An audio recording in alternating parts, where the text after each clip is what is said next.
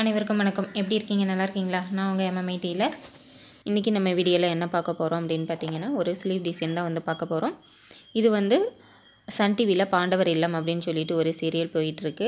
நிறைய பேர் அதை பார்த்துருக்கிறதுக்கும் வாய்ப்பு இருக்குது அதில் வந்து கையல் அப்படிங்கிற ஒரு கேரக்டர் வந்து இந்த மாதிரி ஸ்லீவ் தான் வந்து பெரும்பாலும் வந்து யூஸ் பண்ணுவாங்க. அவங்க கட்டுற சாரீஸ்லாம் வந்து பார்த்திங்கன்னா நார்மல் சாரீ சாதா சாரீ மாதிரி தான் இருக்கும். பட் அந்த ப்ளவுஸ் வந்து நீட்டாக இருக்கும். இதே மாதிரி நம்ம எப்படி தைக்கிறது அப்படிங்கிறத நம்ம இன்றைக்கி வீடியோவில் வந்து பார்க்கலாம். வீடியோக்குள்ளே போகிறதுக்கு முன்னாடி நீங்கள் இப்போ தான் நம்ம சேனலுக்கு ஃபஸ்ட் டைம் வரீங்கன்னா சேனலை மறக்காமல் சப்ஸ்கிரைப் பண்ணிக்கோங்க. பக்கத்தில் வர பெல் எழுத்துட்டுங்க அப்போ தான் நான் போடுற வீடியோஸ் உங்களுக்கு நோட்டிஃபிகேஷனாக கிடைக்கும். வீடியோவை ஃபுல்லாக பாருங்கள் உங்களுக்கு பிடிச்சிருந்தா ஒரு லைக் பண்ணுங்கள் உங்கள் ஃப்ரெண்ட்ஸ்களுக்கும் ஷேர் பண்ணுங்கள் இந்த வீடியோ பற்றி நீங்கள் என்ன நினைக்கிறீங்க அப்படிங்கிறத கமெண்ட்டில் மறக்காமல் சொல்லுங்கள் வாங்க வீடியோக்குள்ளே இப்போ இதுக்காக வந்து பார்த்தீங்கன்னா நான் வந்து லைனிங் வந்து ரெடி அளவில் கட் பண்ணி வச்சுருக்கேன். இப்போ நார்மலாக ஒரு லைனிங் ப்ளவுஸுக்கு எந்த மாதிரி நீங்கள் லைனிங் கட் பண்ணுவீங்களோ அதே மாதிரி கட் பண்ணிக்கலாம். லைனிங்கில் வந்து எந்த ஒரு மாற்றமும் கிடையாது. நீங்கள் எப்பயும் போல் கட் பண்ணி எடுத்து வச்சுக்கோங்க. ஆனால் ஒரிஜினல் கிளாத் வந்து நமக்கு பஃப் ஸ்லீவ் இல்லை இந்த மாதிரி ஃப்ளீட் வச்சு நம்ம ஸ்டிச் பண்ணுறோம் அப்படின்னா உங்களுக்கு நார்மலாக நம்ம வந்து ஒரு கைக்கு என்ன கட் பண்ணுவோமோ இதுக்கு வந்து அதை போல் டபுள் மடங்கு நம்ம எடுக்கிற மாதிரி இருக்கும். இப்போது லைனிங் வந்து நமக்கு இப்போ தேவைப்படாது. நம்ம ஃபஸ்ட்டு மெயின் கிளாத்தை ஸ்டிச் பண்ணிவிட்டு அப்புறமா லைனிங் வந்து நம்ம எடுத்துக்கலாம். இப்போ மெயின் கிளாத்தோட அளவு வந்து பார்க்கலாம். இப்போ இது வந்து பார்த்திங்கன்னா நான் வந்து அப்படியே ப்ளவுஸ் என்ன நீளத்துக்கு இருக்குமோ அதே நீளத்துக்கு ரெண்டு பீஸாக வந்து கட் பண்ணியிருக்கேன். கீழே ஒரு பீஸு மேலே ஒரு பீஸ் இருக்குது இப்போ இதில் வந்து நம்ம ஃபஸ்ட்டு ஒரு ஸ்லீவ் மட்டும் எப்படி ஸ்டிச் பண்ணுறது அப்படிங்கிறத பார்க்கலாம். அப்புறம் ரெண்டாவது ஸ்லீவ் வந்து இதே டைப்பில் இன்னொரு மாதிரி நம்ம எப்படி தைக்கிறது அப்படிங்கிறத நம்ம வந்து பார்க்கலாம். இப்போ நார்மலாக வந்து பார்த்தீங்கன்னா ஒரு ஸ்லீவுக்கு அப்படின்னா நீங்கள் இந்த அளவுக்கு தான் நமக்கு வரும். இதை போல் நான் இப்போ டபுள் மடங்கு எக்ஸ்ட்ரா கிளாத் வந்து எடுத்திருக்கேன். இப்போ இந்த மெயின் கிளாத்தோட அகலத்தை வந்து நம்ம லைனிங் கிளாத் அகலத்துக்கு நம்ம ஃப்ளீட் வச்சு ஃபஸ்ட்டு ஸ்டிச் பண்ணணும். இதுக்காக நம்ம ஃபஸ்ட்டு ஒரு ஸ்லீவ் மட்டும் தைக்கலாம். ரெண்டாவது ஸ்லீவில் வந்து இன்னொரு மாடல் நம்ம வந்து பார்க்கலாம். சேம் இதே மாடலில் கொஞ்சம் டிஃப்ரெண்ட்டாக நம்ம வந்து பண்ண போகிறோம் இப்போ ஃபஸ்ட்டு வந்து ஒரு பீஸ் எடுத்துக்கோங்க. இதோட அளவுகள் வந்து நான் சொல்லிடுறேன். இப்போ பார்த்தீங்கன்னா நான் நாலரை இன்ச்சு ரெடி அளவு நாலரை இன்ச்சுக்கு நான் வந்து இந்த ஸ்லீவ் வந்து வைக்க போகிறேன் இப்போ இதுக்கு வந்து பார்த்தீங்கன்னா கிட்டத்தட்ட நான் ஒரு ஏழு இன்ச்சு பக்கம் நான் வந்து மெட்டீரியல் எடுத்திருக்கேன். நீங்கள் வந்து உங்களுக்கு ரெடி அளவு என்ன அளவோ அதிலிருந்து ஒரு ரெண்டு அல்லது மூணு இன்ச் வரைக்கும் நீங்கள் எக்ஸஸாக வந்து எடுத்துக்கோங்க. நம்ம ரெடி பண்ணிவிட்டு அப்புறமா எக்ஸ்ட்ரா இருக்க கிளாத்தை வந்து நம்ம கட் பண்ணி விட்டுடலாம் இப்போ மேலே வந்து நமக்கு ஆஃப் இன்ச்சு தையலுக்கு போயிடும். அப்போ மீதம் கீழே எனக்கு ஆறு இன்ச் இருக்குது இதை வந்து நம்ம நாலரை இன்ச்சாக நம்ம வந்து குறைக்கணும். இப்போ இதில் வந்து நம்ம ஃபஸ்ட்டு என்ன பண்ணலான்னா ஒரு பக்கம் நம்ம மடித்து தைச்சிக்கலாம். கீழே வந்து பிசுறு இருக்கும். அந்த பிசுரை வந்து நம்ம ஃபஸ்ட்டு மடித்து வந்து தைச்சிக்கலாம். இது வந்து ஒரு கால் இன்ச்சிலேருந்து ஒரு ஆஃப் இன்ச் வரைக்கும் சின்னதாக மடித்து வந்து நீங்கள் தைச்சி விட்டுருங்க.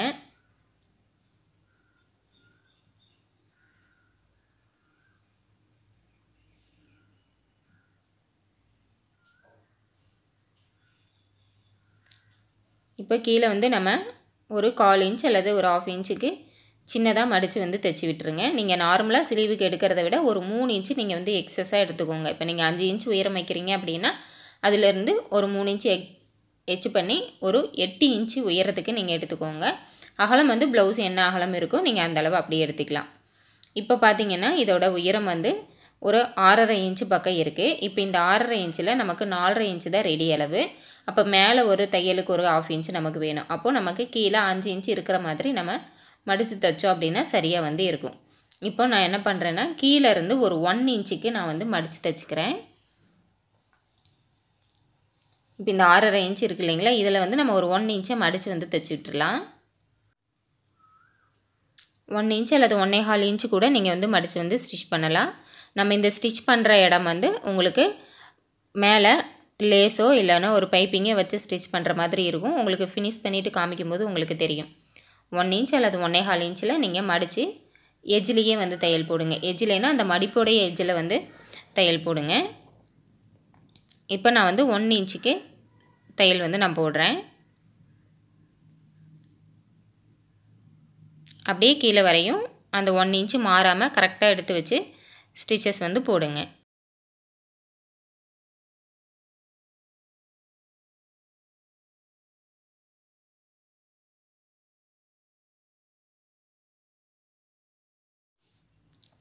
இப்போ இதில் வந்து நம்ம தையல் போட்டு எடுத்துட்டோம். இப்போ ராங் சைடில் நம்ம வந்து மடித்து தைச்சிருக்கோம். இப்போ ரைட் சைடில் திருப்பி பார்த்தோன்னா நமக்கு ஃபினிஷிங் வந்து நீட்டாக இருக்கும். இப்போ இதோட உயரத்தை வந்து பார்த்துக்கலாம். நமக்கு ஒரு அஞ்சரை இன்ச்சு பக்கம் இருக்குது நமக்கு நாலரை இன்ச்சு ரெடி அளவு இருந்தால் போதும். இதில் மேலே வேறு தையலுக்கு ஒரு ஆஃப் இன்ச்சு நமக்கு அஞ்சு இன்ச்சு வேணும். இப்போ நமக்கு ஒரு அஞ்சரை இன்ச்சு இருக்குது எக்ஸ்ட்ரா இருக்கும் பட்சத்தில் பிரச்சனை இல்லை. கம்மியாகாமல் பார்த்துக்கோங்க. அதனால தான் ஃபஸ்ட் டைம் வந்து உங்களுக்கு என்ன உயரம் ஸ்லீவ் வேணுமோ அதிலிருந்து ஒரு மூணு இன்ச் வரைக்கும் நீங்கள் எக்ஸஸாக எடுத்துக்கோங்க. அதுக்கப்புறம் நம்ம ஃபினிஷ் பண்ணிவிட்டு எக்ஸ்ட்ரா இருக்கிறத நம்ம வந்து கட் பண்ணி விட்டுடலாம் இப்போ இதில் ஃப்ளீட் வைக்கிறதுக்காக வந்து பார்த்திங்கன்னா சைடில் இருந்து ஒரு நாலு இன்ச்சுக்கு ஃபஸ்ட்டு மார்க் பண்ணுங்கள் அந்த நாலு இன்ச்சு வரைக்கும் ஸ்ட்ரைட்டாக அப்படியே நம்ம ஏற்கனவே மடித்து தைச்ச தையல் தெரியும் பாருங்கள் அது மேலேயே வந்து ஒரு தையல் போட்டுட்டு அந்த நாலாவது இன்ச்சில் இருந்து நம்ம ஒரு ஆஃப் இன்ச்சுக்கு சின்ன சின்ன ஃப்ளீட்டாக வந்து வச்சுட்டே வந்து வரணும். இப்போ நம்ம வைக்கக்கூடிய ஃப்ளீட்டை வந்து ஒரே அளவில் ஒரே மாதிரியான அளவில் ஃபுல்லாக வந்து நீங்கள் வச்சுட்டே வந்து வாங்க.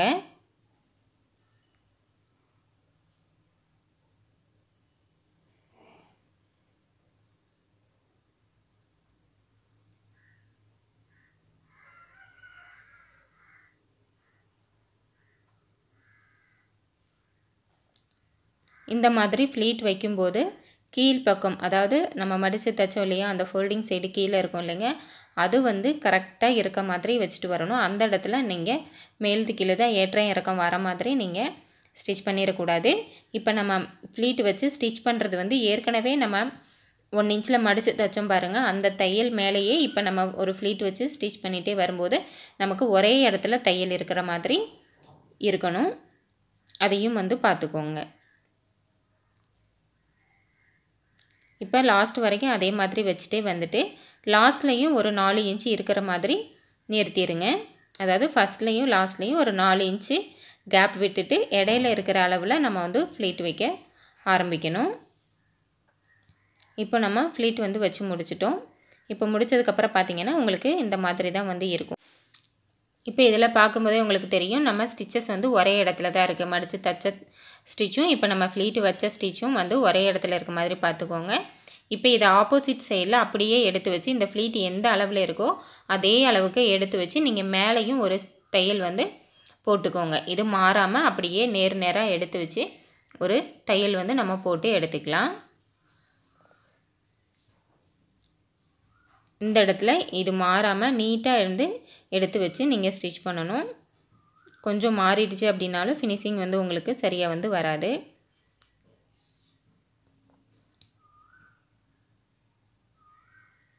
இது மட்டும் நீங்கள் கொஞ்சம் பொறுமையாக பார்த்து ஸ்டிச் பண்ணிட்டீங்கன்னா உங்களுக்கு ஃபினிஷிங் வந்து நீட்டாக வந்து வந்துடும்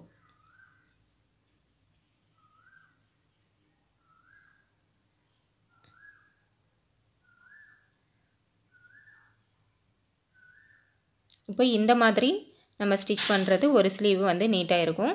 இப்போ நம்ம இன்னொரு ஸ்லீவ் வந்து இதே டைப்பில் கொஞ்சம் டிஃப்ரெண்ட்டாக வந்து ஸ்டிச் பண்ண போகிறோம் அதுவுமே பார்க்குறதுக்கு வந்து அழகாக நீட்டாக வந்து இருக்கும். இப்போ நம்ம இது ஃபுல்லாக தைச்சி முடிச்சிட்டோம். இப்போ நம்ம லைனிங் வந்து எடுத்துக்கலாம். இப்போ இந்த லைனிங்கை வந்து பார்த்திங்கன்னா கீழே நான் வந்து நார்மலாக லைனிங் ப்ளவுஸ்னால் கீழே நம்ம ஆஃப் இன்ச் விடுவோம் இல்லைங்களா? அந்த ஆஃப் இன்ச் அளவுக்கு கீழே வந்து நான் மடித்து தைச்சி விட்டுட்டேன். இப்போ இதோட அளவு வந்து பார்த்திங்கன்னா அஞ்சு இன்ச் இருக்குது நமக்கு ரெடி அளவு நாலரை இன்ச்சு மேலே ஸ்லீவ் ஜாயின் பண்ணுறதுக்கு நமக்கு ஒரு ஆஃப் இன்ச் வேணும். அதுவும் சேர்த்து நான் ஒரு அஞ்சு இன்ச் இருக்கிற மாதிரி கீழே மடித்து தைச்சி விட்டுருக்கேன்.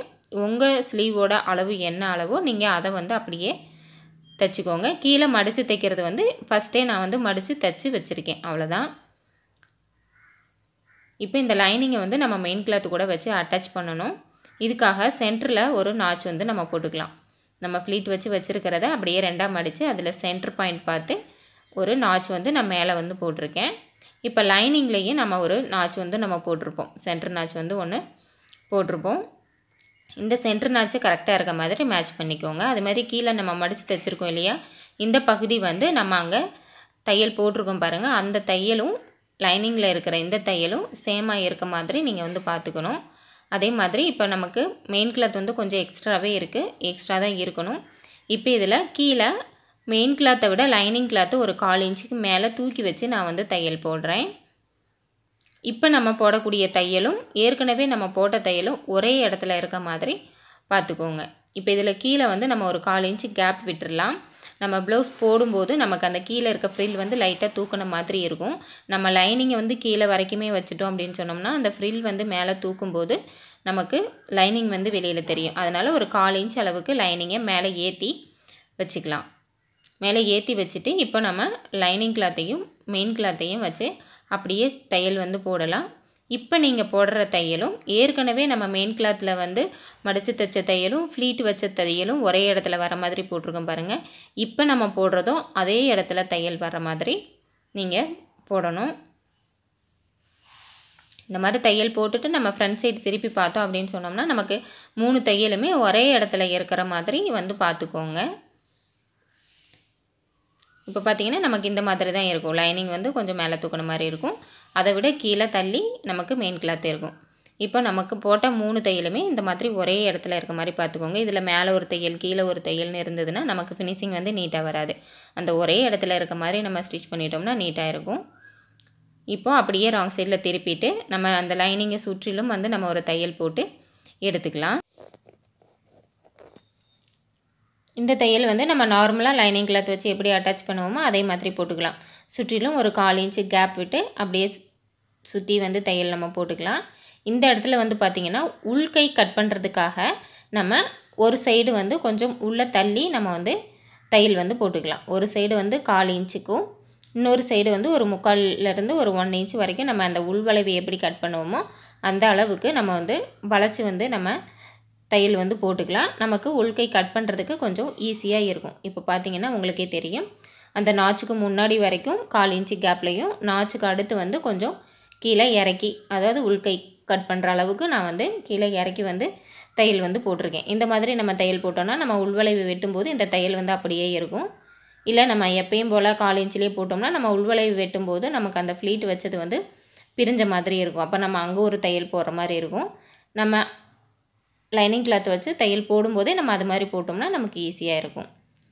இப்போ இந்த லைனிங் கிளாத்துக்கு மேலே இருக்கிற எக்ஸ்ட்ரா இருக்க பீஸ் எல்லாம் நம்ம வந்து கட் பண்ணி எடுத்துடலாம். இப்போ நம்ம ஒரு ஸ்லீவ் வந்து ரெடி பண்ணிட்டோம். இப்போ உங்களுக்கு ஃபினிஷ் பண்ணியாச்சு. நம்ம பார்த்தோன்னா நமக்கு இந்த மாதிரி தான் இதோட லுக்கு வந்து இருக்கும்.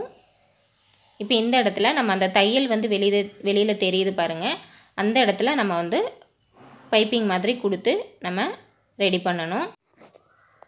அதே மாதிரி கீழே வந்து உங்களுக்கு ஃப்ரீலும் வந்து நம்ம ப்ளவுஸ் போடும்போது லைட்டாக தூக்குன மாதிரி இருக்கும். அதுவும் பார்க்குறதுக்கு உங்களுக்கு அழகாக இருக்கும்.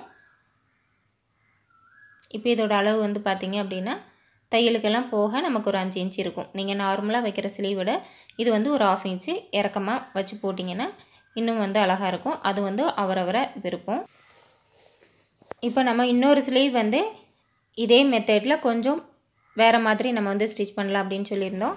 அதுக்காக பார்த்திங்கன்னா நம்ம ஃபஸ்ட்டு ஸ்லீவ் ஸ்டிச் பண்ண மாதிரியே கீழே வந்து பீஸரை வந்து மடித்து தைச்சிட்டு அதுக்கப்புறம் அந்த ஒன் இன்ச்சில் நம்ம மடித்து தைச்ச பாருங்கள் அதே மாதிரியே நம்ம வந்து மடித்து தைச்சி எடுத்துக்கலாம்.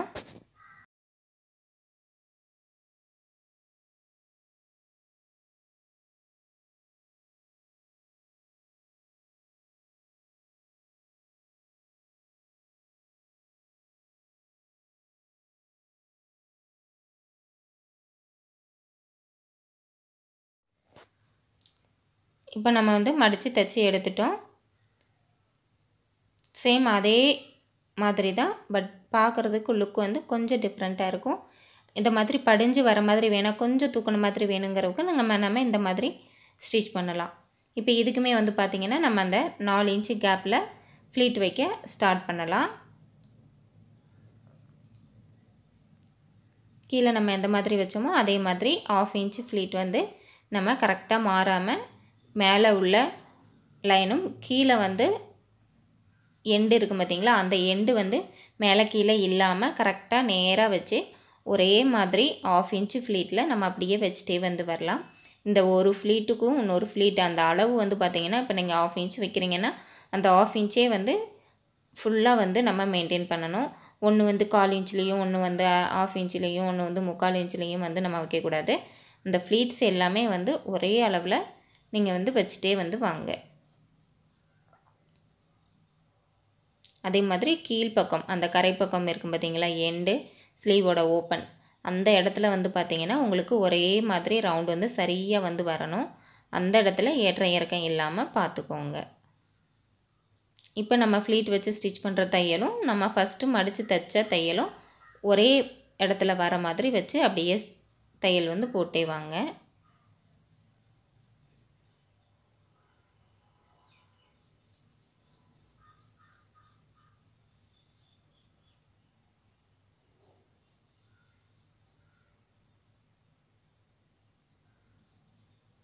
அதே மாதிரி முடிக்கும்போது நம்ம அந்த நாலு இன்ச்சு கேப் விட்டு முடிச்சிடலாம்.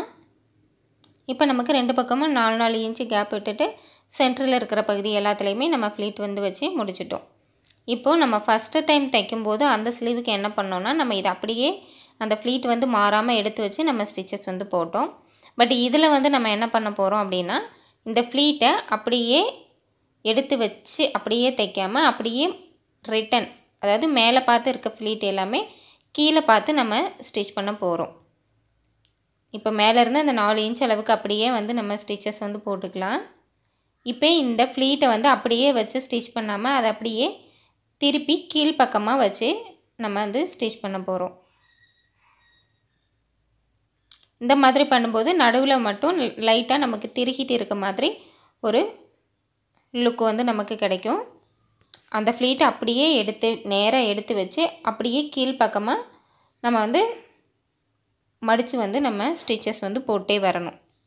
இந்த மேலே வந்து அந்த லைன் வந்து கரெக்டாக இருக்கணும். மேல் பக்கம் இருக்க கார்னர் பகுதி வந்து நமக்கு சரியாக இருக்க மாதிரி வச்சுட்டே வாங்க. இந்த ஃப்ளீட்டை மட்டும் அப்படியே கீழேருந்து மேலே வர வர மேலே வரும்போது அப்படியே திருப்பி இருக்க மாதிரி நமக்கு இருக்கணும். அதே மாதிரி வச்சு எல்லாத்தையுமே ஸ்டிச்சஸ் வந்து நம்ம போட்டுக்கலாம்.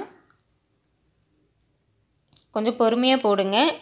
அந்தந்த ஃப்ளீட்டுக்கு நேராக வந்து இருக்கணும் அது இல்லாமல் கொஞ்சம் இழுத்து வச்சிட்டிங்கன்னா கொஞ்சம் கீழே போயிடும் அது வேறு மாதிரி ஆகிடும் அதனால் கரெக்டாக அந்தந்த நேருக்கு எடுத்து வச்சு அப்படியே திருப்பி திருப்பி நம்ம வச்சு தையல் வந்து போட்டுகிட்டே வந்து வரணும்.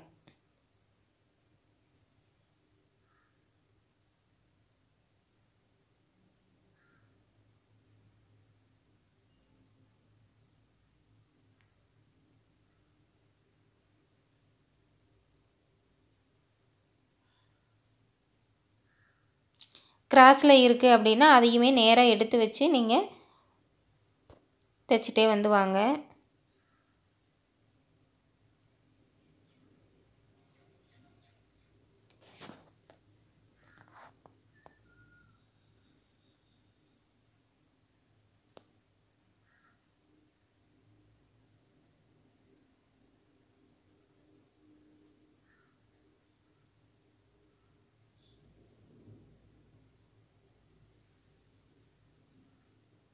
நம்ம நேர் நேராக எடுத்து வச்சு தைக்கிறது சிம்பிளாக தைச்சிடலாம். இந்த மாதிரி திருப்பி வச்சு தைக்கும்போது கொஞ்சம் பார்த்து வந்து நம்ம தைக்கணும்.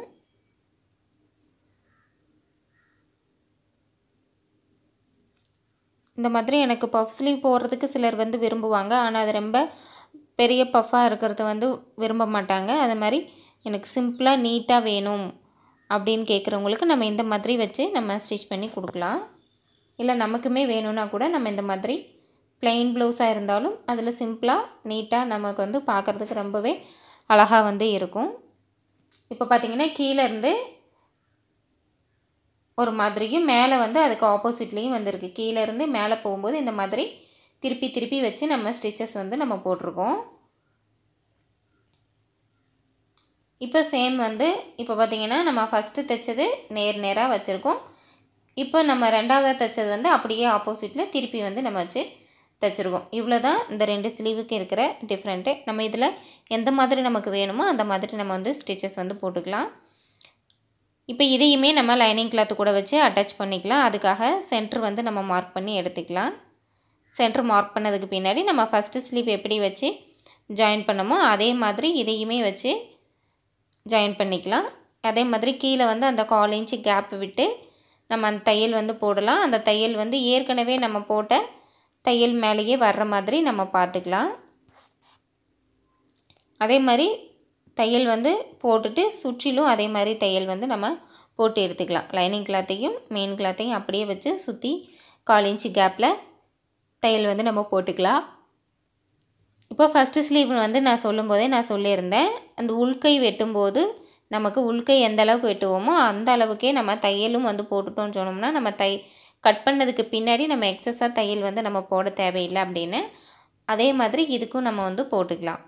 இப்போ ஃபஸ்ட்டு ஸ்லீவ் வந்து நீங்கள் ரைட் சைடு தையல் உள்ளே தள்ளி போடுறீங்கன்னா செகண்ட் போடும்போது நீங்கள் லெஃப்ட் சைடு வந்து உள்ளே தள்ளி தையல் போட்டிங்கன்னா நம்ம கட் பண்ணுறதுக்கு சரியாக வந்து இருக்கும். இப்போ இதுலேயுமே நம்ம சுற்றி இருக்கிற எக்ஸ்ட்ரா எல்லாம் கட் பண்ணி விட்டுடலாம். இப்போ கட் பண்ணிவிட்டு நீங்கள் இந்த மெட்டீரியல் அதாவது ரெண்டு ஸ்லீவையுமே வந்து ஆப்போசிட் ஆப்போசிட்டில் போட்டிங்க அப்படின்னு சொன்னால் அந்த உள்வளைவு நீங்கள் கட் பண்ணுறதுக்காக போட்ட தையல் வந்து கரெக்டாக ஆப்போசிட் ஆப்போசிட்டில் இருந்ததுன்னு சொன்னால் சரியாக வந்து இருக்கும். இப்போ வந்து பார்த்திங்கன்னா நம்ம இந்த ஸ்லீவோட ஃபினிஷிங் வந்து நமக்கு இந்த மாதிரி தான் வந்து இருக்கும். இப்போ பார்த்திங்கன்னா உங்களுக்கே தெரியும். பார்க்குறதுக்கு உங்களுக்கு நீட் அண்ட் ஃபினிஷிங் வந்து சூப்பராக இருக்கும். நீங்கள் நார்மலாக ஒரு பிளெயின் ப்ளவுஸ்க்கு நீங்கள் இந்த மாதிரி வச்சு ஸ்டிச் பண்ணும்போதே வந்து ஒரு கிராண்ட் லுக் வந்து உங்களுக்கு காமிக்கும். டிசைன் வச்சு எனக்கு போகிறதுக்கு பிடிக்காதுங்க அப்படிங்கிறவங்களுக்கு நம்ம இந்த மாதிரி ஸ்டிச் பண்ணலாம். ரொம்பவே நல்லாயிருக்கும் இப்போ நம்ம ஃபஸ்ட்டு தைச்சது அப்படியே ப்ளைனாக வந்து இருக்குது இதில் வந்து நம்ம அப்படியே ஆப்போசிட்டில் நம்ம வந்து வச்சு தைச்சிருக்கோம். ரெண்டுமே வந்து ஒரே மெத்தடு தான். ஒரு சின்ன ட்ரிக் மட்டும் நம்ம மாற்றிருக்கோம் அவ்வளோதான் இப்போ இதில் வந்து அந்த தையல் வந்து தெரியுது பாருங்கள் அந்த தையல்கிட்ட வந்து நம்ம வேறு கிளாத்தோ இல்லைன்னா ஒரு லேஸோ இல்லை சேம் கிளாத்தோ வச்சு நம்ம ஃபினிஷ் பண்ணிடலாம். பட்டை பைப்பிங் மாதிரி கொடுத்துட்டோம் அப்படின்னு சொன்னால் ஃபினிஷிங் வந்து உங்களுக்கு நீட்டாக இருக்கும். இப்போ இதுக்காக வந்து பார்த்தீங்க அப்படின்னு சொன்னால் நான் வந்து ஒரு இதுக்கு நான் வந்து ஒரு லேஸ் வச்சு காமிக்கிறேன். ஒன்றுக்கு வந்து சேம் கலரில் வச்சு காமிக்கிறேன். இப்போ இந்த மாதிரி அந்த தையலை மறைச்சி நம்ம அந்த இடத்துல ஒரு லேஸோ இல்லை கான்ட்ராக்ட் கலரோ இப்போ சாரீக்கு மேட்ச் ஆகிற மாதிரி ஒரு கலரோ இல்லை வேறு ஏதாவது அந்த ப்ளவுஸ்லேயே இருக்கிற வேறு ஒரு கலரோ நம்ம அந்த மாதிரி வைக்கலாம். இல்லை அப்படின்னா எனக்கு அதெல்லாம் வேணால் நார்மல் plain ப்ளவுஸ் தைக்கிறோம் அப்படின்னா சேம் கலர்லேயே நம்ம வந்து வச்சுக்கலாம். இப்போ இது வந்து பார்த்திங்கன்னா ஒரு ஒன் இன்ச் அளவுக்கு பீஸ் வந்து நீங்கள் எடுத்துக்கோங்க. அதில் ஒரு பக்கமாக மடித்து அப்படியே அந்த தையலை மறைக்கிற மாதிரி நான் வந்து ஸ்டிச்சஸ் வந்து போட்டே வரேன். ஃபஸ்ட்டு கீழே வந்து தைக்கலாம் அதுக்கப்புறம் மேலே உள்ளதை மடித்து நம்ம தைச்சி எடுத்துக்கலாம். நீங்கள் இந்த பீஸை வந்து ஃபஸ்ட் டைமும் கூட ஒரு ஆஃப் இன்ச்சுக்கு நீங்கள் கீழேயும் மேலேயும் அந்த பிசரை வந்து மடித்து தைச்சிட்டு அதுக்கப்புறம் நீங்கள் அந்த தையலை மறைக்கிற மாதிரி நீங்கள் வச்சு தைக்கலாம் பட் அப்படி தைக்கும்போது நமக்கு ஏற்கனவே நம்ம மடித்து தைச்சது ஒரு தையல் இருக்கும். அதுக்கப்புறம் நம்ம அது கூட வச்சு அப்ளை பண்ணும்போது போடுற தையல்னு ரெண்டு தையல் வந்து வெளியில் தெரியும். நான் இந்த மாதிரி நம்ம ஃபஸ்ட்டே மடித்த மாதிரியே அப்படியே வச்சு நம்ம ப்ளவுஸில் வச்சு ஸ்டிச் பண்ணிட்டோன்னா நமக்கு ஒரே தையலோடு போயிடும் கொஞ்சம் ஃபினிஷிங் பார்க்குறதுக்கு வந்து நீட்டாக இருக்கும் இப்போ ஆப்போசிட் சைடு அப்படியே அந்த இருக்கிற பிசரை வந்து அப்படியே உள்ளே மடித்து விட்டுட்டு நம்ம மேலே உள்ள எண்டுலேயே இன்னொரு தையல் வந்து நம்ம போட்டு எடுத்துடலாம்.